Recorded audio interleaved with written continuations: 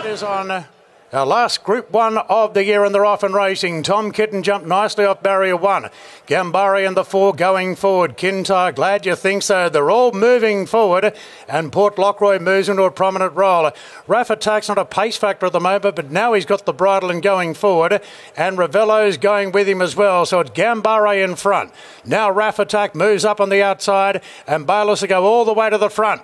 Raff Attack charges to the front now. 15 Love Early, led by two on Gambare. Ravello goes to third, followed by Kintyre pulling now. Glad you think so. Is wound up three wide and has to go forward. And Tom Kitten parks midfield in advance of Port Lockroy. Then came the filly Tutar Levita down on the rails from Long Jeans. A length and a half Cape Ferrat and a gap back to Madatsu. And the roughie Rambalon's last of all. So it's Raff Attack. He worked a lead out by a length and a half. Glad you think so. Worked to a clear second.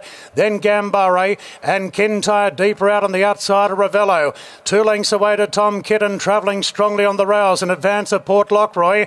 Further back then to Long Jeans from Tutar Levita. Cape Ferrat between runners. Two off to Madatsu. And Rambalon sees them all inside the 800 metres. And Raff Attack leads the way by a length to Glad You Think So. Gambare's at a cheap run on the fence. Kintyre deeper out, followed by Ravello. Then came Tom Kitten, who's gradually improving his position on the rails. Port Lockroy's come off the bridle. Then Cape Ferrat and Tutar Levita. The filly's right behind the favourite, although Hyeronimus is coming well off the fence now on Tom, peeling forward as they straighten.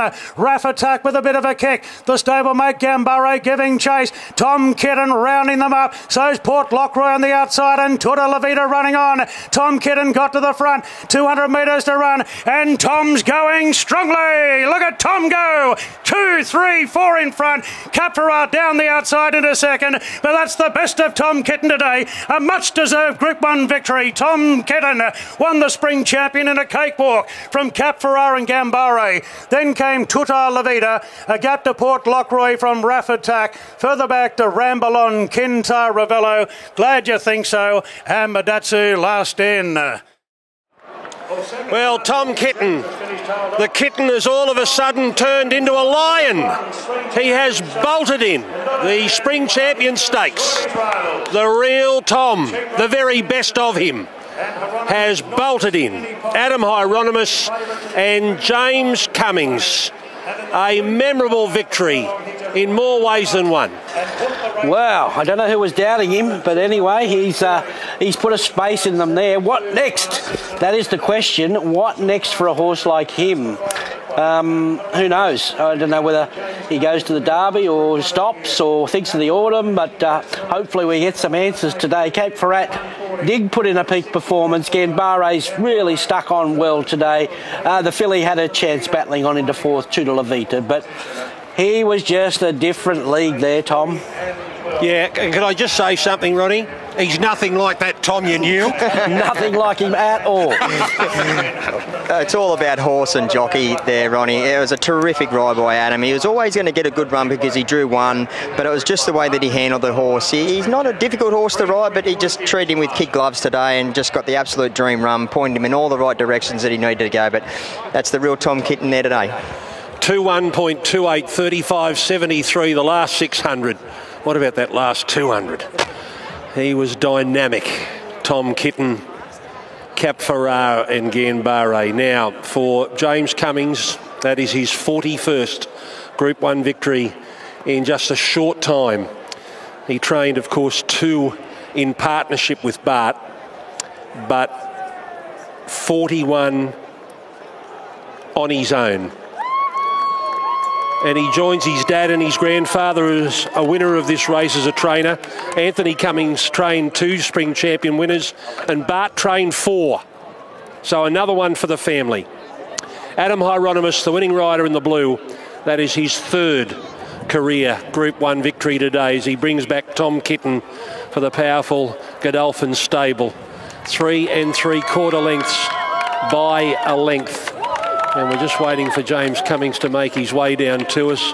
Big moment for Adam Hyeronimus Corey to be riding a Group 1 winner in those silks. It is a big moment. Um, it's very special as a rider to put the colours on in any race, but to do it in a Group 1 race, um, yeah, I'm really happy for Adam. He's riding in terrific form since he's been back from his break, and yeah, just great to see him in the Group 1 circle.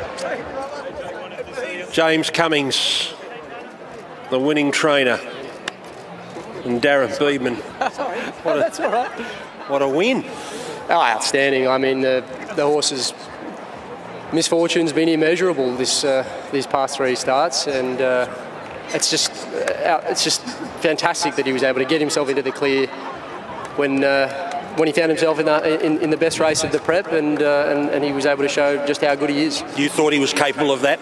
Oh, look, he's um, he's just kept improving. He's been training so solidly at, at Osborne Park, and uh, look, I thought he was capable of that, yes, and, uh, and he's and he's and he's proved to be one of the best middle distance horses in the country today. And uh, look, a nomination in the Cox Plate wouldn't have been out, out of place, but if we can keep getting him better and better, then 12 months' time he, he might be racing on the same day. In a, in, down- down in Melbourne. Are you going to go one more this prep? Look, it's worth thinking about. He's uh, he's, he's, a, he's a very interesting horse. He's, he's from a quick family, but he's he's inbred to Machiavellian, the sire of Street Cry, and, uh, and, and, and the horse is in a classic style about him. He looks like he would eat up 2,500, and, uh, and, and the VRC Derby is. Um, you know, it's a, it's a time-honoured race, so certainly worthwhile thinking about. But uh, but whatever we do, it'll revolve around just how well Tom Kitten is, and uh, and that's the bottom line. You join Anthony and Bart as other Cummings to win this race. Yeah, well, you know, I had whiskers on my face this morning, so uh, I got told to take them off. Might have been bad luck. I don't think Bart would have had whiskers on his face ever coming to the track. No way. Well done. Congratulations. All right, thanks. Good on you. Well done, brother.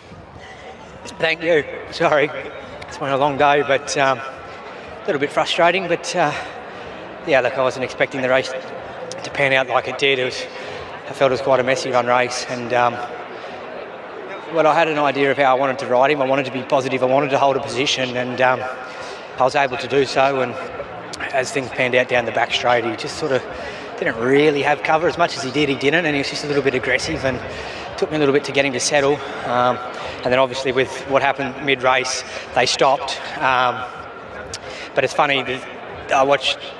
I didn't do too much form on the race because I was on the best horse. But um, what I did do is I watched the replays of the last probably ten spring champion stakes, and they're all run the exact same. And the two best rides were um, Collett from one and Josh Parr from barrier two. So I just wanted to keep it as simple as possible. And when I had my opportunity at the top of the straight, I, I seized it. I felt I got I exposed him too early, but he's just got so much ability. Absolutely stoked for you, mate. Well done. Thank you.